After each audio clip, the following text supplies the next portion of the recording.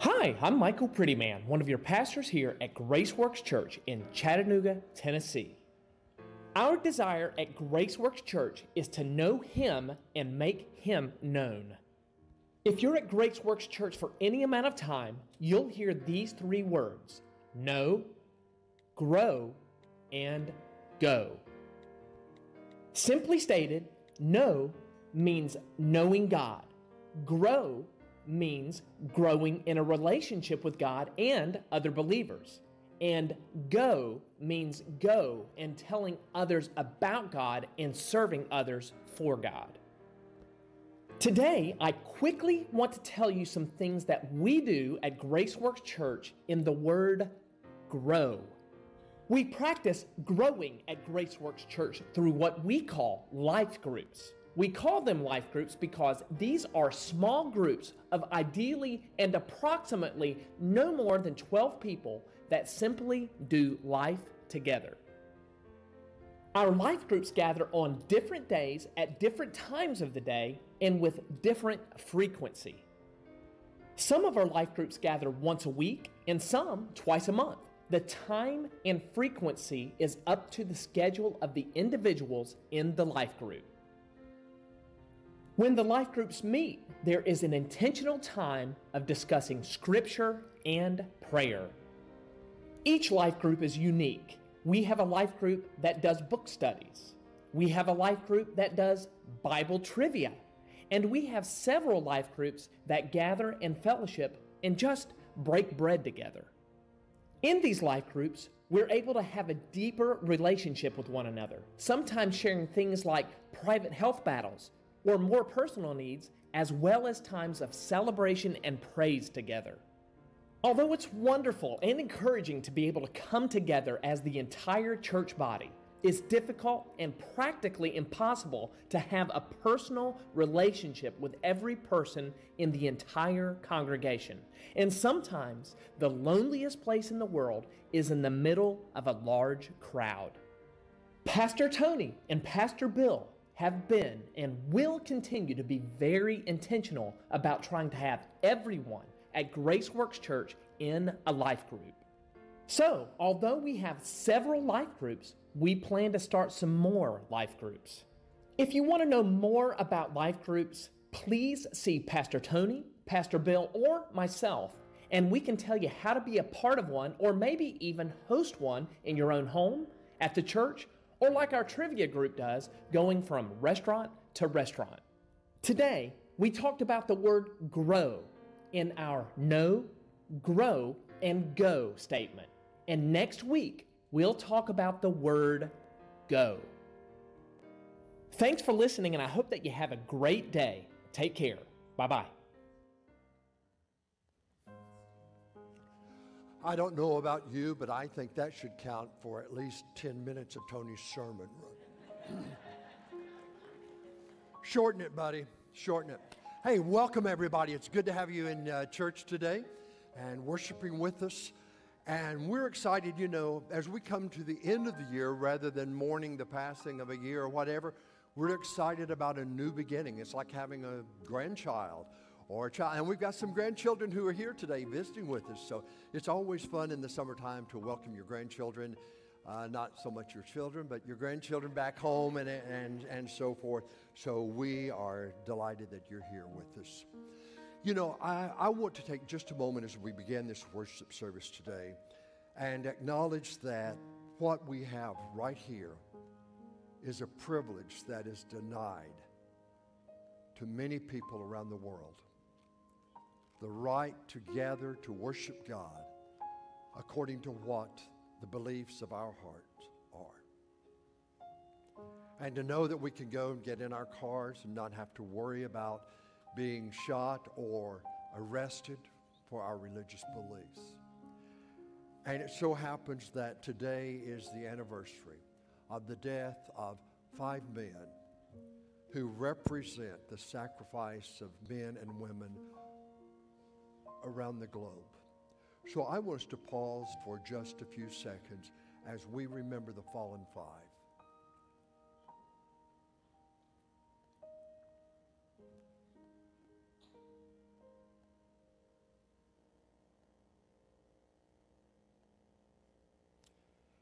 Heavenly Father, your son gave his life on the cross. Sometimes as we present the cause of freedom and Christianity, we too are called to sacrifice. Not usually with our lives, but in other ways. God, empower us to quit grumbling and complaining and refusing. Let us step up and do that which brings glory to your kingdom. Lord, we thank you for the men who gave their lives, and today we pray especially for their families that they would have peace, joy, and an awareness of your presence. Now lead us as we worship you in Christ's name.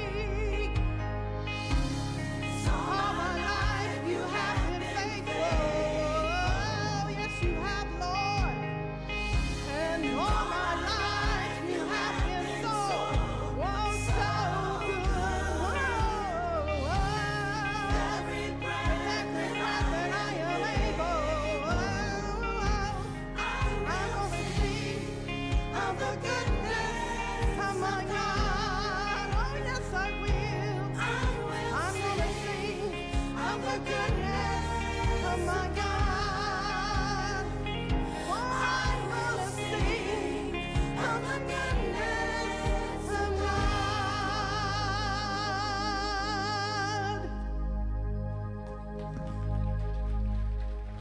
Thank you, Tawny, for singing that. And I saw a lot of you guys singing along with that this morning. So uh, thank you for singing with us. And that's what we're going to continue doing here in a moment. We're just going to sing about the goodness of God. He is good. And the reason we're here is to worship Him this morning and to please Him this morning. And in the meantime, we, we're encouraged as well coming together. So, welcome to Graceworks Church and welcome to our Facebook Live audience who's uh, watching online there. Glad that you're here with us this morning. It's a nice, cool day here in Chattanooga, Tennessee, if you're on Facebook Live. Uh, now, it's very hot and muggy. It is mid July, and uh, uh it just is what it is. That's what happens in Chattanooga in mid July. but I'm so glad that you guys are here and praise the Lord. We have air conditioning, so all is well. But I'm going to go ahead and ask you to stand up right now, if you will, and get out there in the aisles and find somebody this morning that you have not had a chance to find yet this morning, tell them welcome to Graceworks Church. Now, you can get out of your seat and get in the aisles, go all over the room, and make sure you greet somebody, maybe somebody you don't get to see every Sunday morning. And again, just say, Welcome to Graceworks Church. We'll sing some songs here in a moment.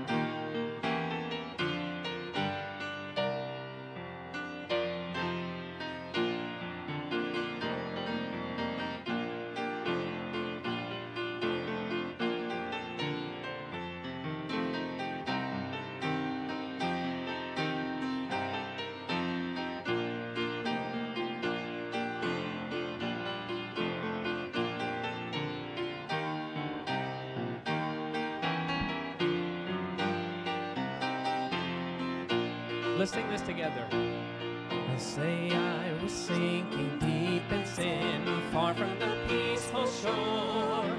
Very deeply stained within, I was sinking to rise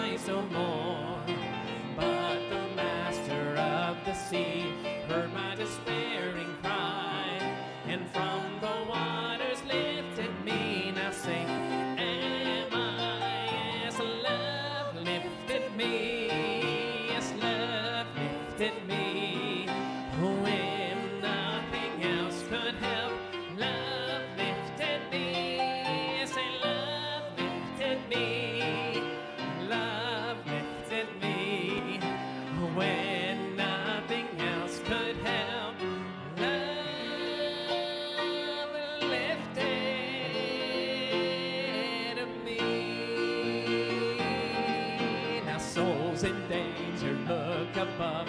Jesus completely saves. He will lift you by his love out of the angry waves.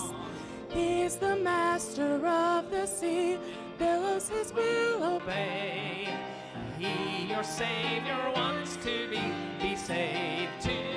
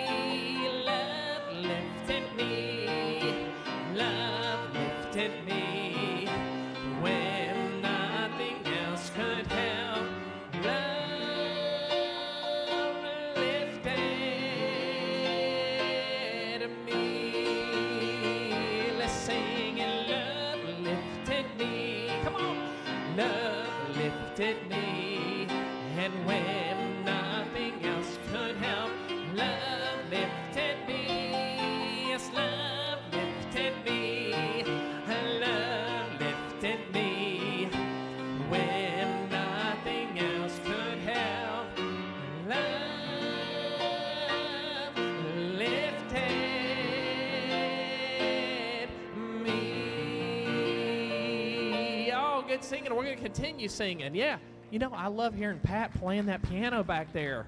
Sounds so good. Y'all help us sing the song this morning Cornerstone, Christ alone, our cornerstone.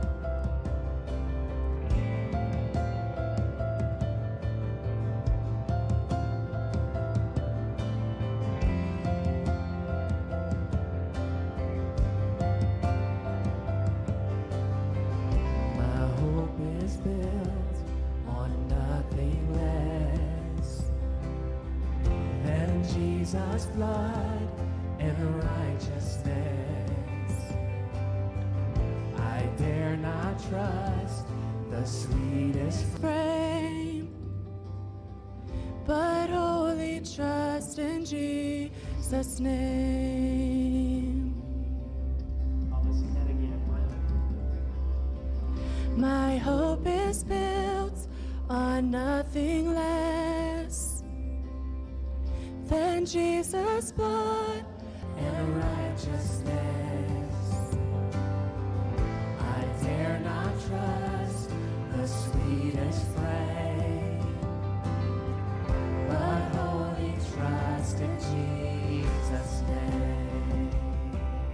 Christ alone. Say. Oh, Christ alone, cornerstone, we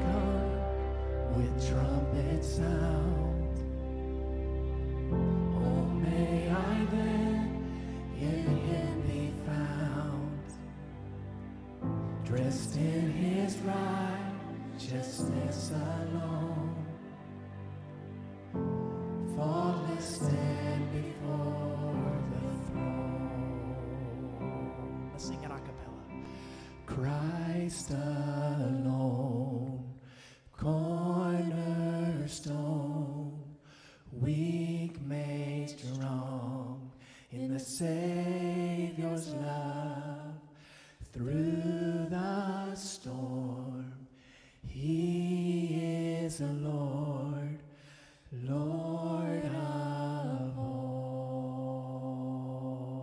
Will you give the Lord a clap offering this morning? Great singing, guys. And you guys can go ahead and grab a seat right now. We're going to have a time for scripture reading. When summertime hits Chattanooga, it's time for the church to think about a new beginning with a new church year. And always we need workers. I don't want to disappoint you, but the most difficult assignment has already been taken. Jesus died on the cross. Whatever you do will be almost nothing compared to what he did for you. So, as we begin this time, I want you to think about how you can serve God through the ministries of Graceworks Church. Whether you are a member, a regular guest, or a first time visitor, we invite you to share the kingdom's work. The mother of Zebedee's sons came to Jesus with her sons. Kneeling down, she asked a favor of him. He asked, What is it you want? She said, Grant that one of these two sons of mine may sit at your right and one at your left in your kingdom. You don't know what you are asking, Jesus said to them. Can you drink the cup that I am going to drink? We can, she answered. Jesus said to them, You will indeed drink from my cup, but to sit at my right or left is not for me to grant. These places belong to those for whom they have been prepared by my Father. Even Jesus submitted to the role where God could best use him. When the ten heard about this, they were indignant with the two brothers. Jesus called them together and said, You know that the rulers of the Gentiles lord it over them, and their high officials exercise authority over them. Not so with you. Instead, whoever wants to become great among you must be your servant and whoever wants to be the first must be your slave. Just as the Son of Man did not come to be served, but to serve and to give his life as a ransom for many. Would you guys give me just a second to explain? Because some of you guys hear this every single Sunday, but this is a time that we come to in the service. And some of you may be your first time, but it's a time for us to just have a take some alone time and pray and talk to the Lord. I, when I grew up uh, going to church, um, uh, we were always very deliberate about prayer time, but there have been times that I've been in services we get going through, and I have service orders up here that I just get going through, and we kind of start just punching things off the checklist, and uh, and we miss out sometimes. And this time right here is reserved for us to be able to just make an altar right where you are and thank the Lord for something this morning. I, I'm on my, my sheet, it's called the prayer chorus. But it's a time specifically to be thankful. So, right now, if you take a moment just to bow your heads and close your eyes, we're going to take about a half a minute, 30 seconds or so, just to talk to the Lord and thank Him for something this morning. Don't miss this opportunity.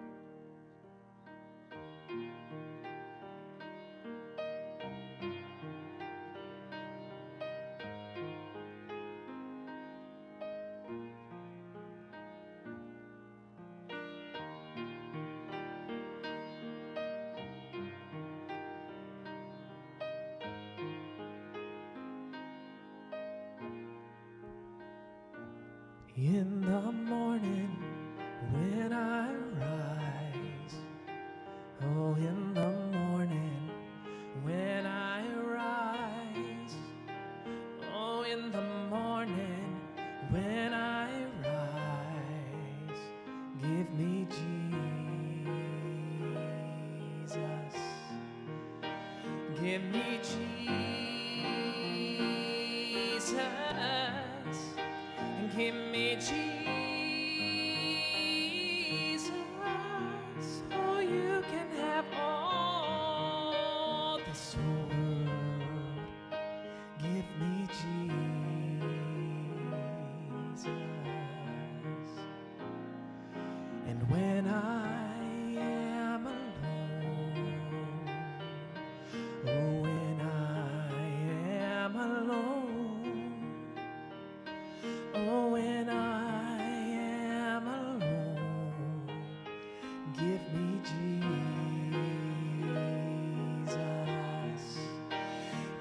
Give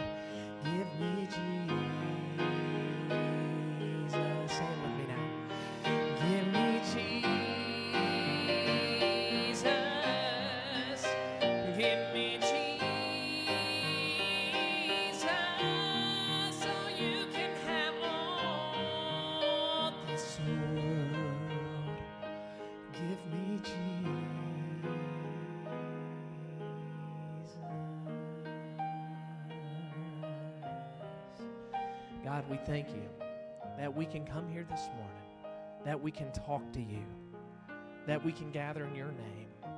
God, we thank you for this beautiful facility and this beautiful campus that we're able to meet.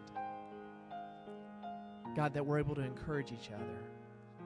But God, as we're here this morning, I pray most of all that we are encouraging you with these songs that we sing about you, the songs that we sing for you, as we sing about the goodness of God.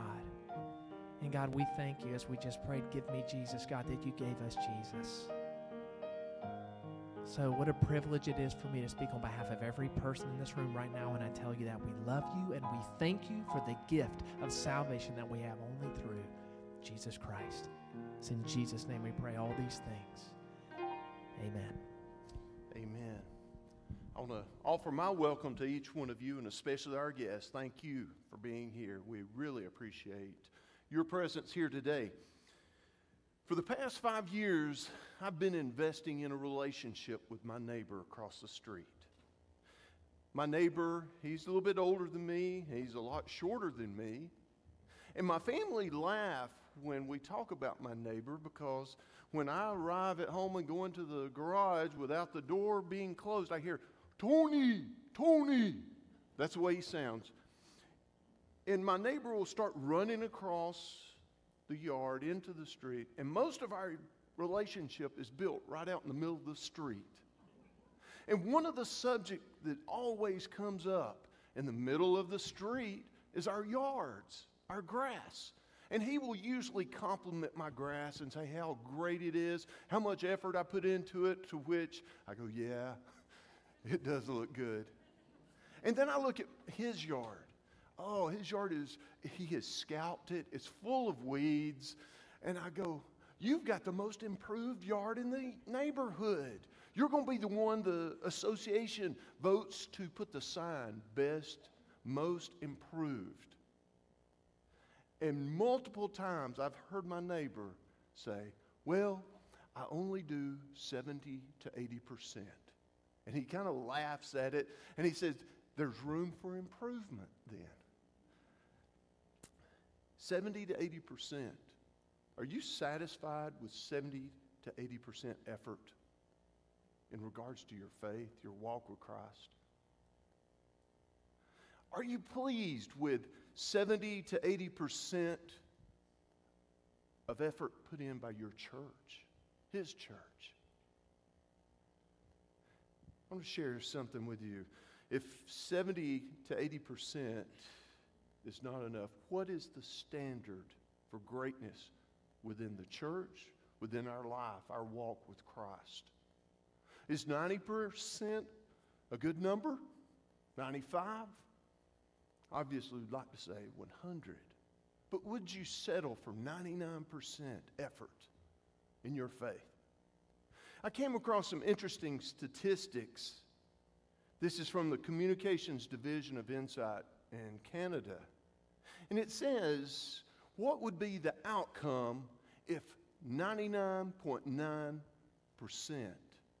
was our standard? That was our standard which we are pro- that we are pleased with, we're satisfied with, we're content.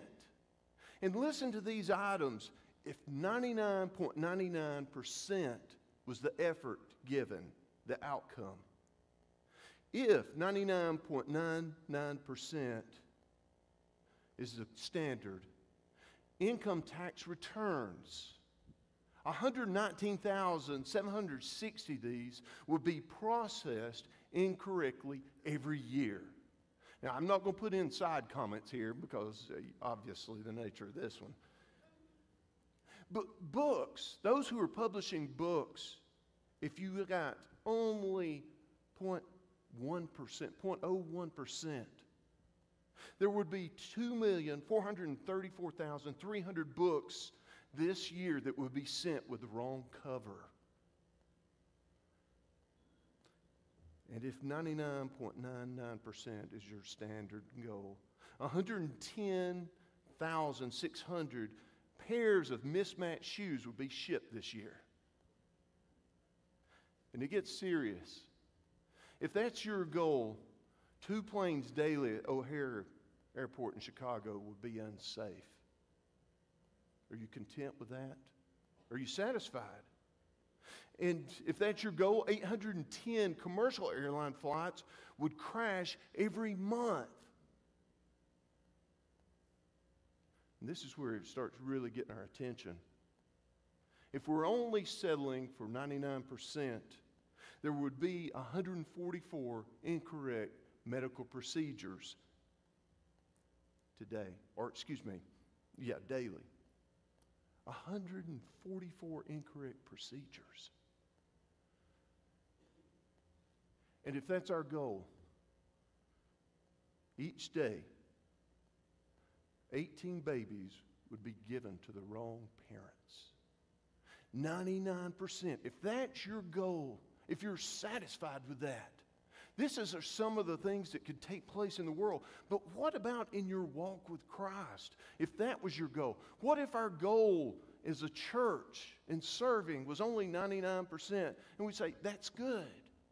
But the passage that Brother Bill read earlier, it speaks about the pursuit of greatness.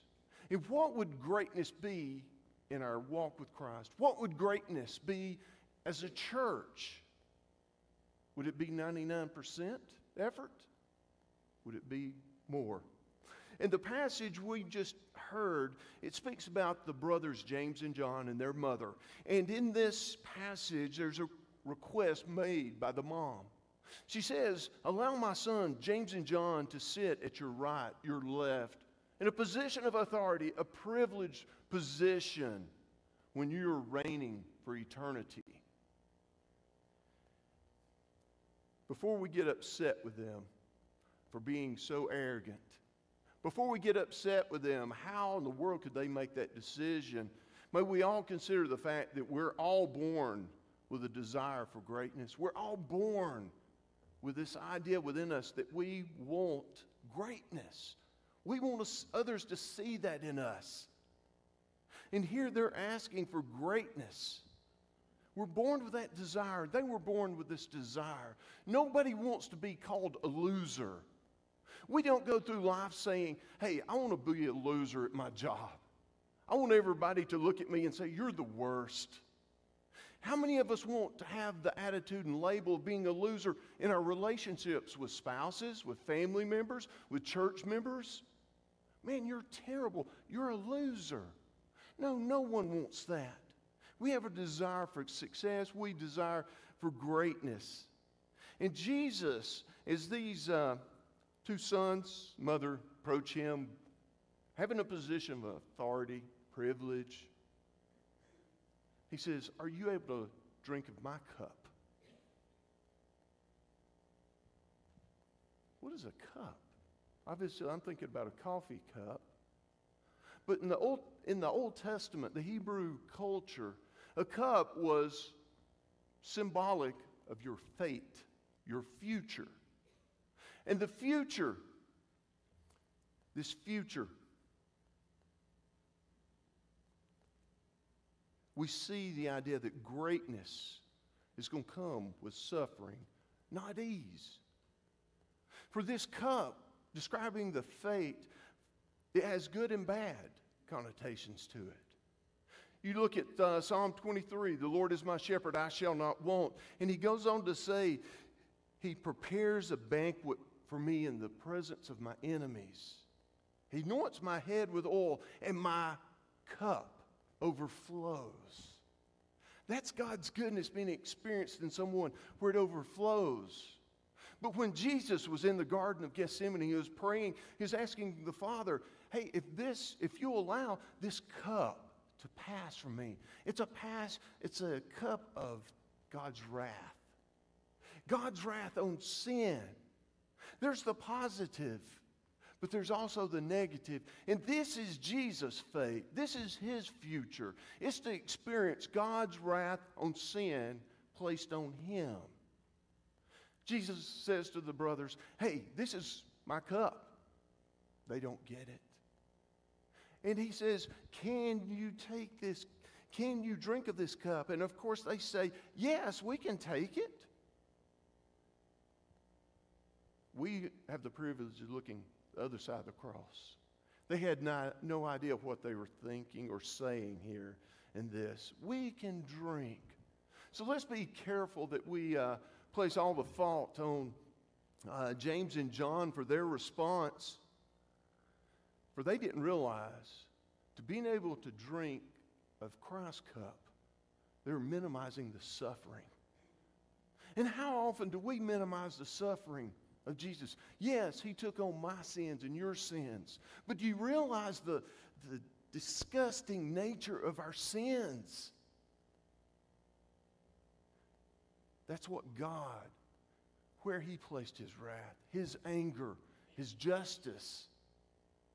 And so for James and John, they didn't know, but do we know the wrath of God and the impact of his wrath upon sin and on our lives?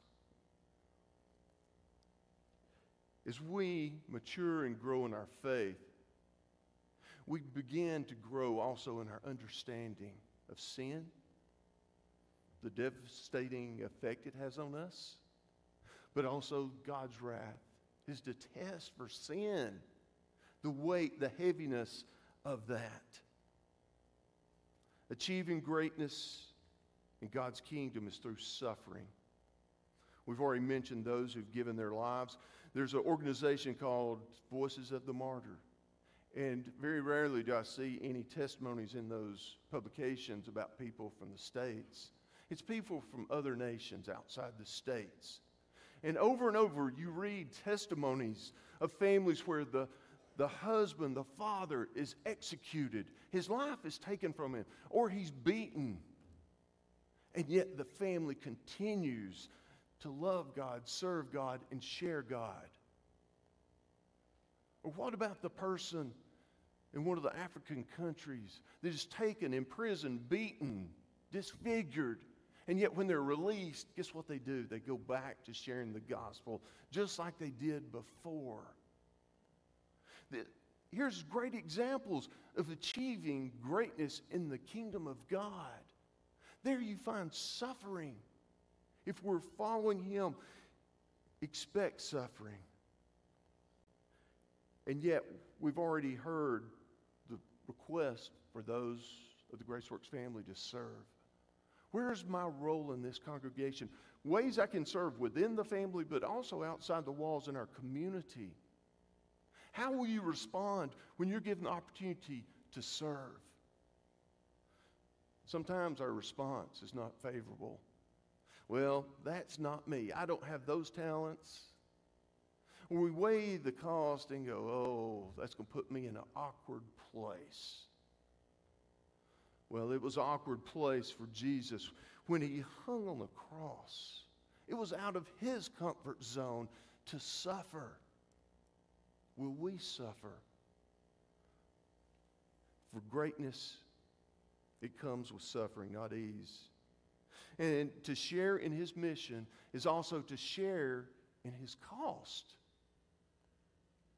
Jesus told James and John, You can't drink this cup, but you're going to experience it.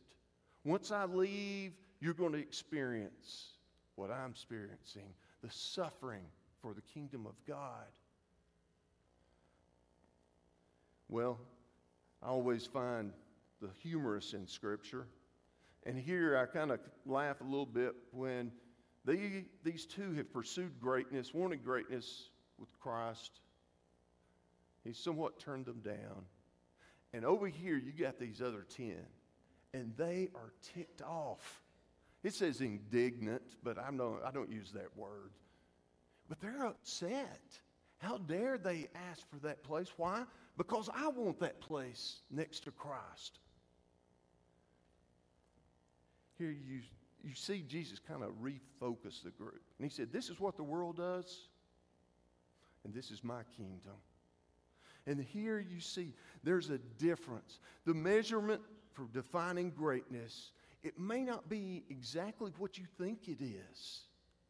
Unfortunately, sometimes we bring the world's standard and measurement into the life of the church. Success. Success in a church is big buildings. Success, it's a lot of money coming in on Sundays.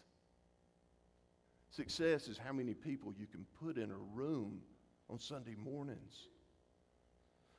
That is somewhat the world's idea, standard of greatness. But here, Jesus says, those leaders, those rulers, they lord over their authority. They exercise their authority. They are there to be served, not to serve.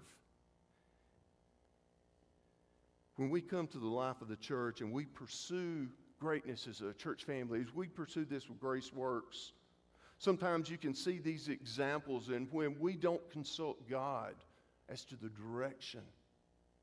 Or if we don't seek His, or we ask His approval of whatever it is, that's not the question to ask.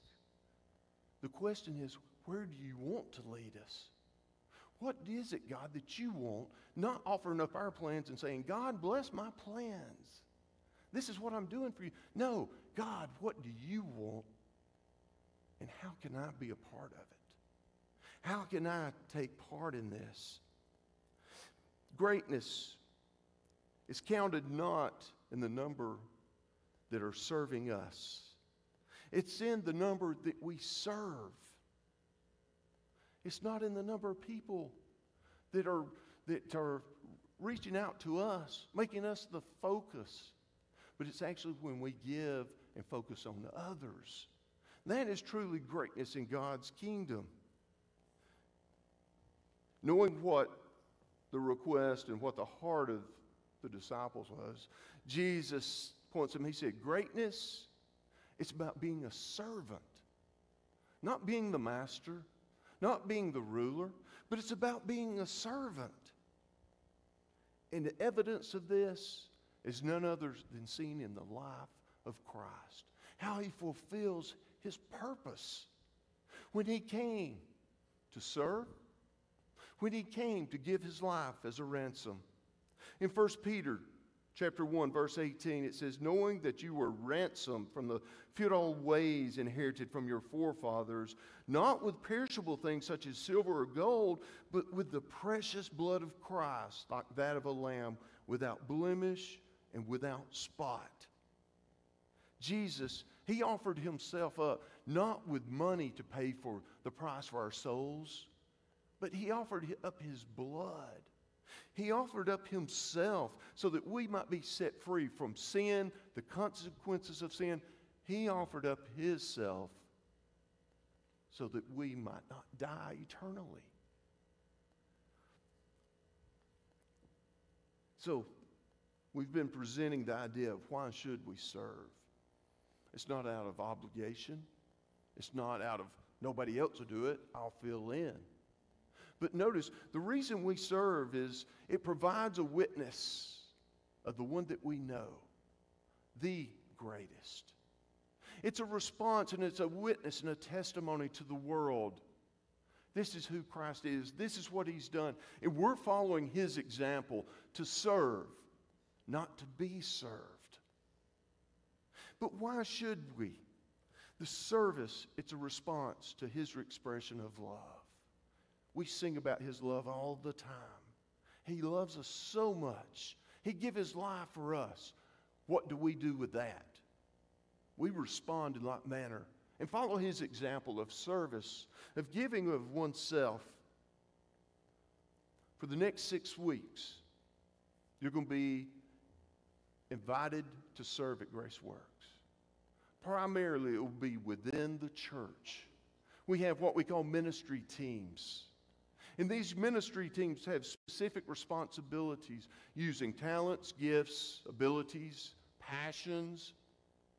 And these are not to be done out of obligation. It's not because this is what you do when you go to Graceworks, when you're part of the family. No, this is because we're responding to God loving us and we're moved by His love for us. And it's, it's the fact that when others see us, whether it's the world or we see one another serving, we're proving a testimony of who He is and what He means to us. Whether we realize it or not, each one of us are being served at this very moment. We're being served because he died for us. And He made salvation possible and the opportunity, the privilege to walk with Him daily.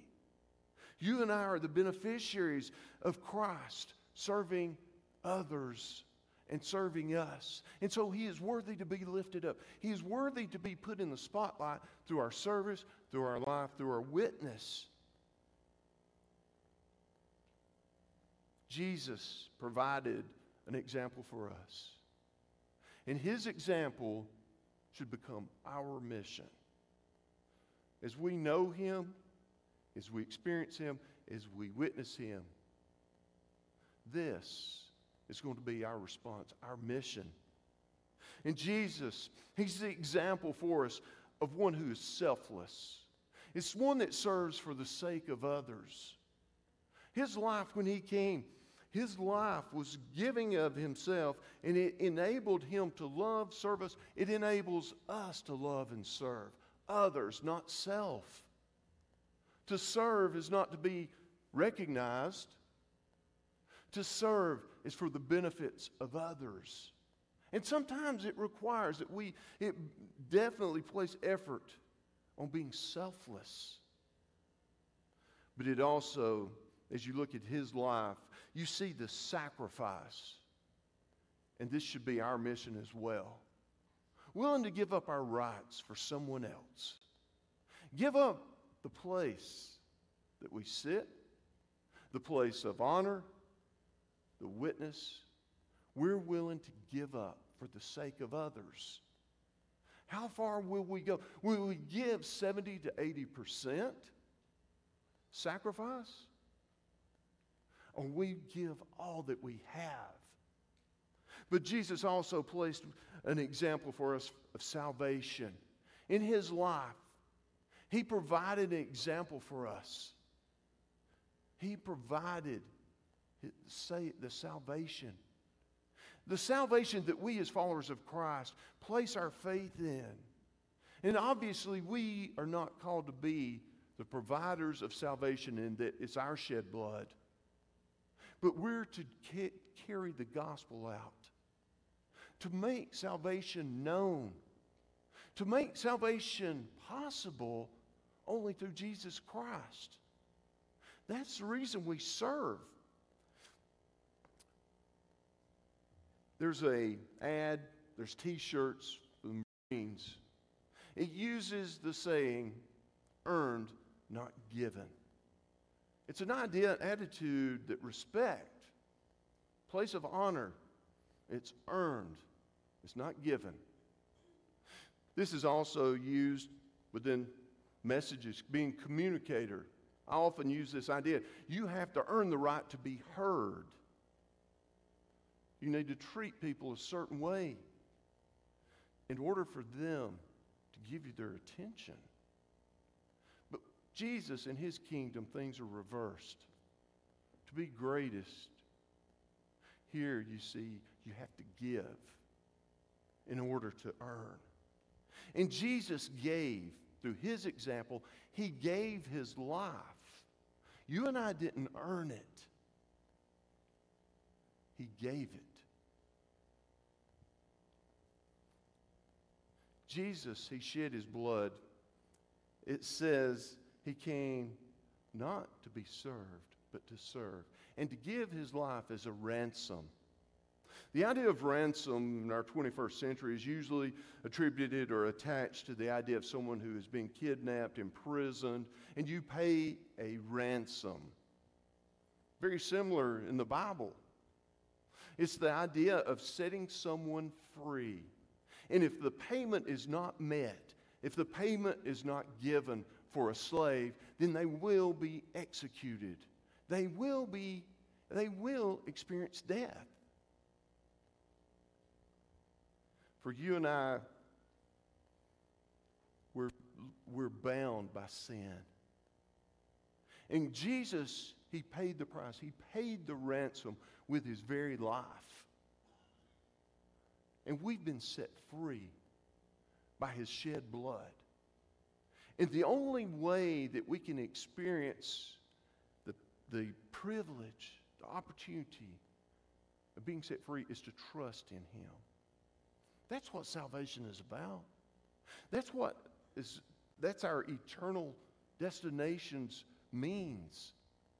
Is by trusting in his ransom, his payment that he pray, played paid for all of us. Are you trusting in that today? Are you trust, trusting in the fact you're earning your salvation? We serve not to earn our salvation.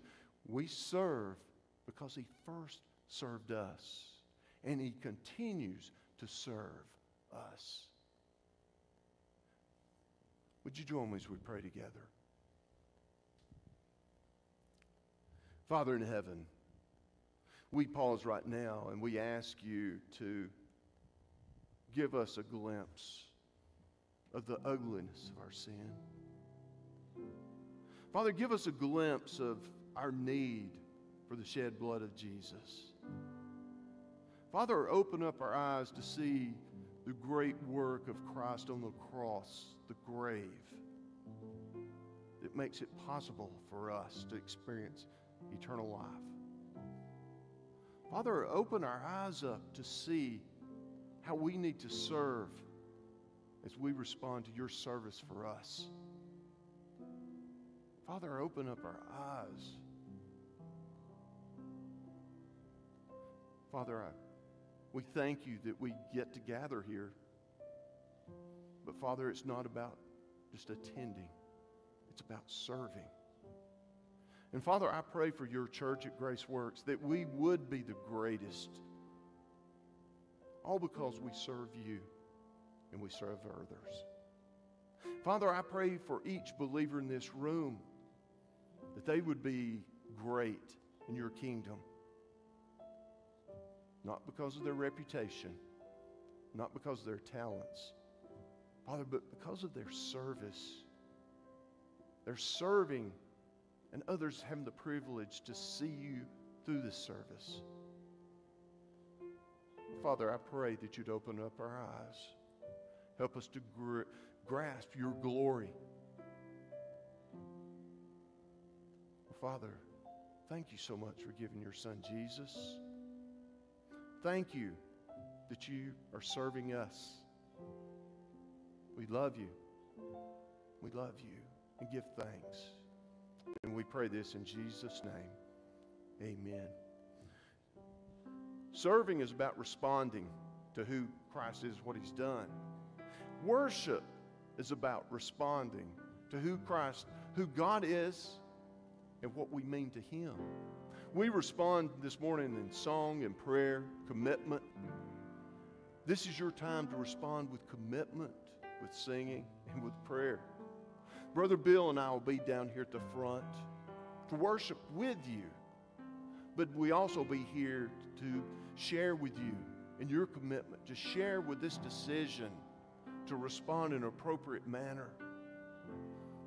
Church, may we see, may we see the need. May we see where we're absent in our responding to Him. May God open up our eyes. We will be here if you've never experienced God's saving blood. This is your time. This is your opportunity to respond. And you may be a believer and you say, I'm not part of this church, but I want to be part of this family that serve together, that serve others. We will be here. We will be glad to share with you, to share you with the church family. Whatever your decision, whatever your commitment, whatever your response, this is for each one of us and for us as a congregation. Don't miss this opportunity. Would you stand as we respond and may we worship?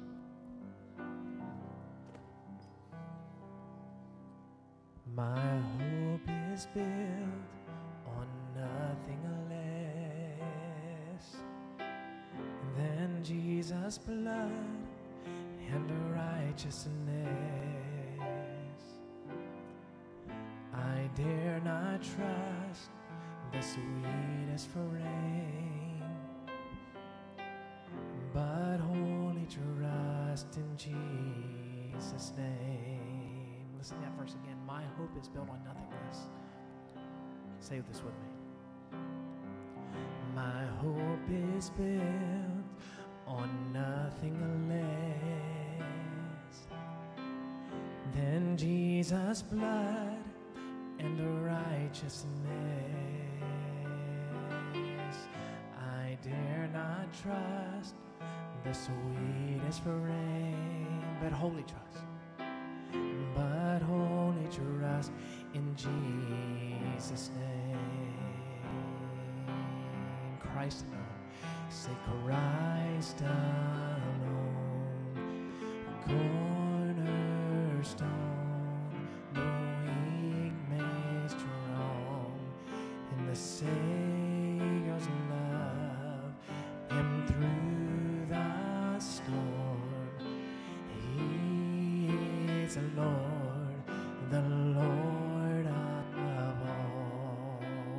chorus with me one more time? Christ alone. Say Christ alone. Say our cornerstone. Oh, weak made strong in the Savior's love and through the storm. He's the Lord,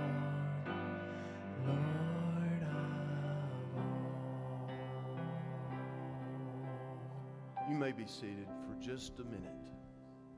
I want to say again, guests, thank you for being here. You don't know how important, how valuable you are to us as a church. So thank you so much. We hope that you'll come back so that we can get to know you better and possibly become a part of this family of faith known as Graceworks. It's a great church. Why? Because we're serving together. We're happy here because we love one another, not because we're perfect. And 70 to 80%, may that not be our goal. May we always be striving. May we never be content or satisfied with how we are serving and the difference we're making in this community. May we continue out of motivation for Christ because of His love, His blood for us. May God bless each one of us.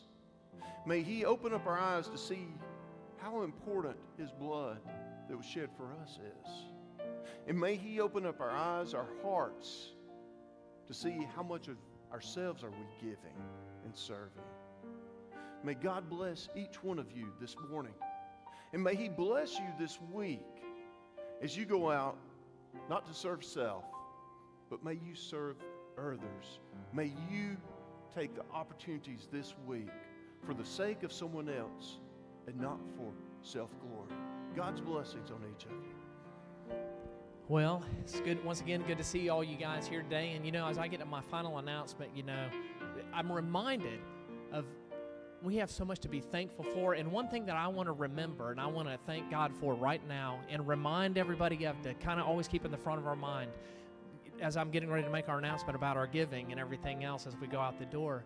You know, just a year and a half, two years ago, we were over a million and a half dollars in debt. In debt, and today we are debt free.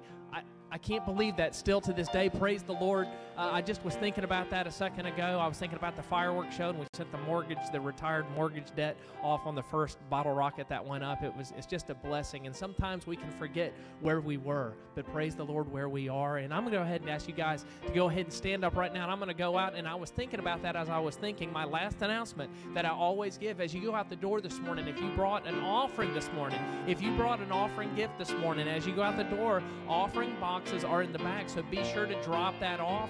And uh, praise the Lord. I hope you guys have a wonderful day. We're going to sing out with a song here. So y'all can sing along with me or you can just walk on out with it. God bless you. Have a great day.